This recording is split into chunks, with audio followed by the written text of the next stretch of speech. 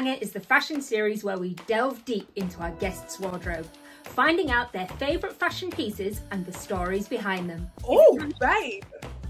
You think I'm saucy, don't you? No, I know. It's a business in the front. Party in the back! I call it my vulva dress, and my husband absolutely hates it. The awards are in three days. This dress I've waited weeks to arrive looks terrible. They look classy on, I promise. Look how big my phone is.